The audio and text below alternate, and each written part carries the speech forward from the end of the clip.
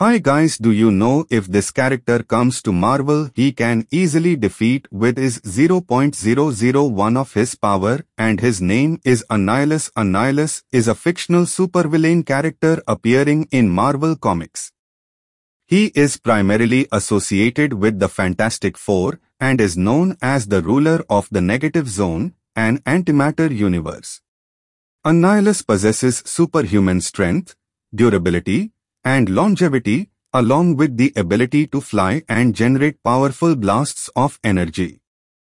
His iconic weapon is the Cosmic Control Rod, which grants him even greater control over the energies of the negative zone. Annihilus is driven by a relentless desire to expand his dominion, making him a formidable adversary for numerous Marvel superheroes. If you know about this character and comment and if you like this kind of videos the subscribe to our YouTube channel. Peace.